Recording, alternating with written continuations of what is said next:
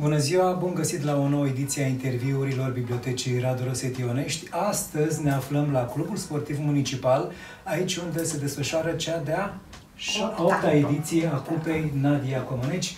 Bună ziua! Bună ziua! Mulțumim că ne-ați primit. Alături de noi, doamna Ingrid Distrate, directorul Clubului Sportiv Municipal Onești și domnul Virgil Mudeanu, președintele Fundației Nadia Comăneci. Bună ziua! Bună ziua și bine ați uh, venit și anul acesta lângă noi. Copiii deja concurează, au avut și un oaspete de seamă astăzi. Este vorba despre Ministrul Sporturilor. Așa este. Cum, uh, cum a descoperit baza sportivă a Oneștiului? În primul rând vreau să vă spun că e într-adevăr o mare onoare și o bucurie pentru noi faptul că domnul ministru Carol Novak uh, a venit la această cupă, a venit chiar de aseară, a participat la ședința tehnică, ședința de organizare a competiției, după care astăzi uh, a intrat în sală și chiar asta discutam cu uh, colegul și cu prietenul meu. Uh, gestul dumnealui m-a, m-a, m-a lăsat chiar fără cuvinte. A spus că într-o asemenea sală, sala Nadiei Comăneci, nu poate să intre decât desculț. Da, a văzut de fapt fetițele de la da, gimnastică și, și atunci s-a descălțat. și s-a descălțat. Uh, cum a primit? În primul rând a fost uh, plăcut impresionat de rezultatele le știa ale clubului de-a lungul anilor. Nu știa baza, nu cunoștea baza, a fost foarte impresionat uh, atât de sala de lupte, care acum uh, poartă numele de Vasile Pușcașu, foarte încântat și emoționat privind sala de gimnastică Nadia Comuneci. Și bineînțeles că uh, și până acum uh, Clubul Sportiv Municipal a avut uh, susținere. Cred că de acum încolo, uh, pentru faptul că a venit și a văzut exact ceea ce se întâmplă la Onești, ce se întâmplă cu sportivii Oneștiului, sunt convinsă că va rămâne aproape de Onești și, nu în ultimul rând, de gimnastică, unde și-a și declarat deschis uh, intenția și dorința de a uh, re... Uh, Vitaliza, revitaliza, de a revitaliza gimnastica românească, fiindcă în fiecare interviu și în fiecare, la fiecare ședință a spus că gimnastica rămâne cea mai mare carte de vizită a sportului românesc. Un prim pas a fost făcut prin acea alocare bugetară de un milion de, de lei pentru achiziționarea unor sau unui, set, set de unui set complet de aparate băieți-fete, da.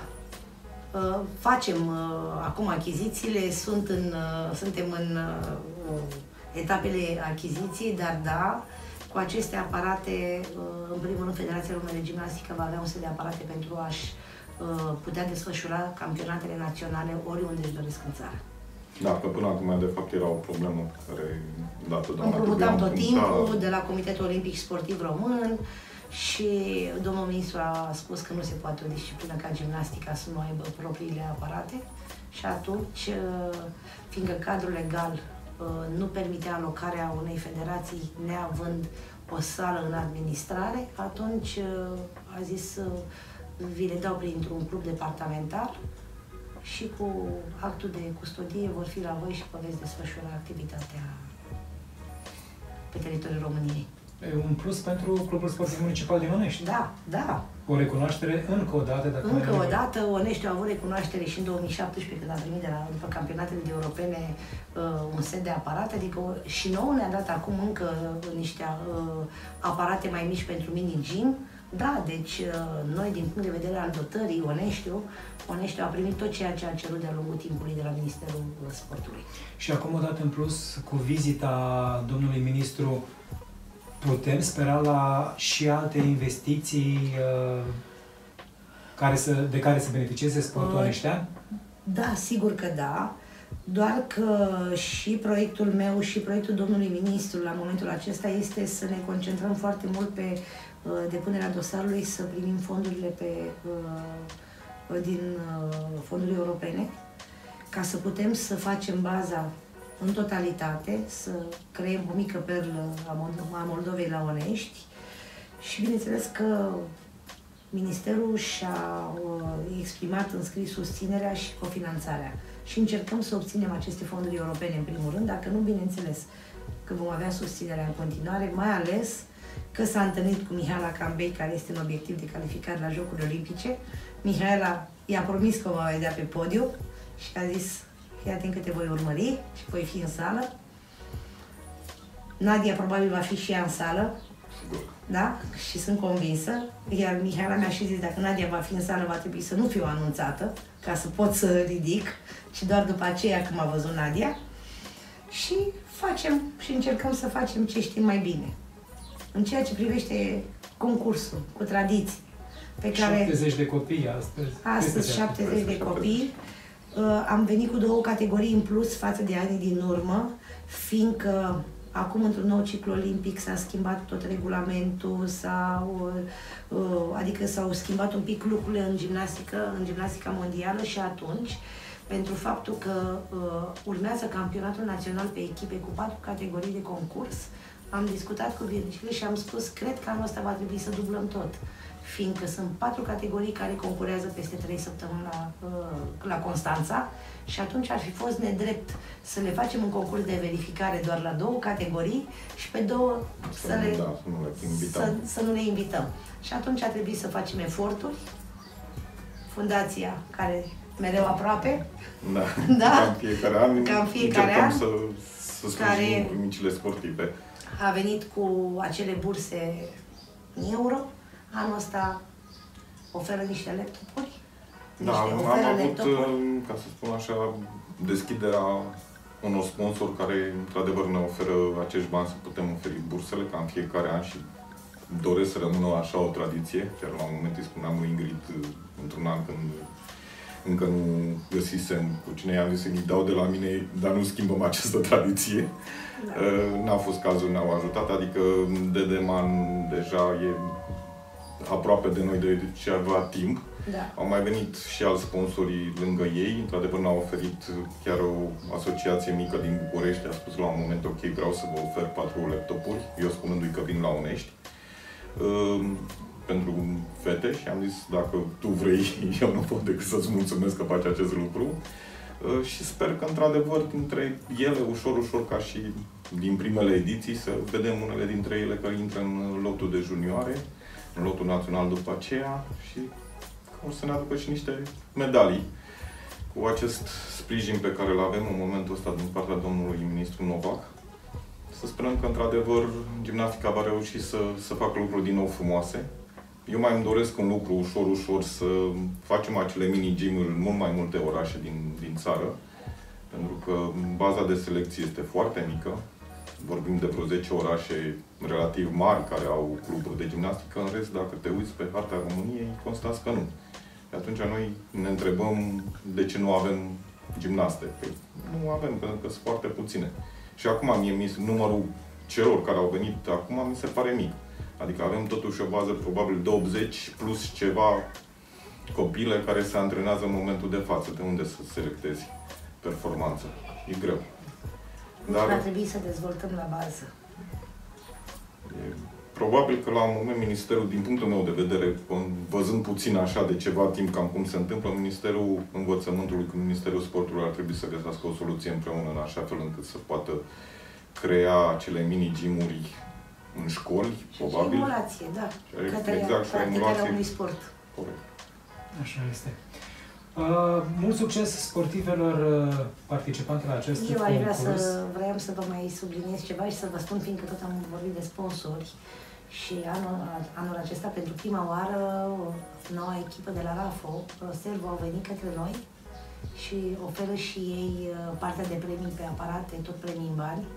Bine, și prin complexul, ceea ce Prin iar e complexul interesant, care că de aici tot din pentru zonă, prima adică... oară au venit alături de noi, adică parcă au început uh, oamenii să fie un pic mai receptivi la ceea ce fac acești copii minunați. Și cu siguranță, poate și mai mulți copii vor veni uh, spre sport atunci când uh, vor ști că există și o recompensă pentru efortul pe care Da. îl, îl depun. Fiindcă efortul este mare. Și cu mai trebuie adevărat. să, înțeleagă, să înțelegem ceva. Cumva trebuie să sprijinim, de fapt, și pe cei care vor să facă performanță. Trebuie să ne, ca și societate, trebuie să ne îndreptăm privirea și către acești copii sănătoși, care pot promite ceva. Nu doar pentru cazurile, într-adevăr, sociale, dramatice de altfel, dar trebuie sprijinită și zona asta de început de performanță, în așa fel încât să le poți să oferi ceva mai multe condiții decât poate în momentul ăsta, de fapt, sub o formă sau alta, Ministerul Sportului sau Ministerul Învățământului să le asigure. Începe vacanța. Mulți dintre copii vor putea mai mult decât uh, până acum să aibă un timp dedicat sportului. Noi avem porțile deschise toată vara. Noi suntem aici, nu plecăm nicăieri. Nu închidem nicio fereastră. Nadia a fost din nou alături de copii printr-un mesaj uh, video, ca de fiecare dată Nadia este exact. cu gândul la, la Bine, Nadia știe totdeauna tot ce se întâmplă, atât eu cât și Ingrid vorbim tot timpul de ce facem aici, ne sfătuim cu ea, ne ajută, ne dă sfaturi, normal că totdeauna ne transmite cât un mesaj în fiecare an a transmis acest mesaj către sportive, către antrenori, bineînțeles că și sunt o componentă importantă a acestui proces. Um, și din păcate nu reușește, da, adică da. nu reușește să-și aranjeze programul în așa fel încât să nimerească să vină atunci când avem cupa. Dar sper că, într-adevăr, la, la anul când... De 18 iulie, când clubul va împlini 50 de ani, de ziua Montrealului, Probabil că Probabil încet atunci va veni. Că atunci va veni. Asta e un teaser, nu spune mai multe, cine știe, vom vedea ce se va întâmpla. Uh, repetăm acțiunea de anul trecut, când uh, vom vedea mulți sportivi din nou în Onești? Pentru pașaport pentru sport, da, este un proiect de suflet uh, al Nadiei, în primul rând. El a fost, de fapt, cumva conceput după programul Nadiei din Oklahoma și al lui Bard, bineînțeles. Am avut două ediții făcute în București. Ulterior, Ingrid cu primăria, până la urmă, au zis, da, îl vrem la Unești. E adevărat că anul trecut am făcut prima ediție la, la Unești, după ce zilele orașului au fost declarate, de fapt, în, că acel moment, de fapt, în care Nadia a câștigat la Montreal, și atunci și anul ăsta avem promisiunea că putem să-l facem și îl vom face. Atunci vă așteptăm cu drag. Importantă este susținerea administrației locale. Foarte importantă. Deci fără, fără ei n-am putea să, să facem lucrul ăsta este foarte importantă și vă mulțumim pentru faptul că își doresc două zile de sport și de bucurie prin mișcare. Da, chiar aseară ne-am întâlnit și cu primarul și a zis că da, în mod cert o să ne susțină să-l facem și că își dorește să-l, să-l facem aici. Și anul trecut a ieșit chiar foarte frumos și m-a surprins câți copii au venit, de fapt, din Onești și din împrejurim la acest eveniment. Și a fost primul. E, anul acesta cu siguranță vor fi mai mulți Așa și de. poate dintre cei care vor fi prezenți se vor alege viitoare gimnaste sau viitori luptători, halterofili și exact. alți practicanți. Da, că noi l-am, l-am gândit de fapt ca un spectacol al sportului și sunt pe mai multe discipline, în așa fel încât copiii să vină să vadă ce le place și, și să, să poată încerce. să alege. Să, să poată să încerce, da. da. Vă mulțumesc pentru amabilitate, mult succes sportivilor, mult succes și vouă în activitate. Mulțumesc. Uh, concediu plăcut celor care vor putea pleca în, în concediu. Dar nu, că mi-am luat concediu, într-adevăr, dar nu plec în concediu. Plec la uh, campionatele mondiale de aerobic în Portugalia, într-adevăr, dar am zis ca să stau liniștită, uh, îmi iau 5 zile de concediu. E, După care revin. Vacanță, concediu la, la muncă. Da. Aceasta a fost ediția noastră de astăzi la interviurile bibliotecii. Eu sunt Alina Savei. Mulțumesc doamnei director Ingrid Distrate, mulțumesc și domnului Virgin Munteanu de la Fundația Nădea Comunici. Și noi vă mulțumim. Mult succes, copii! Veniți către sport. Acesta este viitorul unui uh, popor sănătos. sănătos, un popor sănătos. Și o minte sănătoasă. O zi bună tuturor!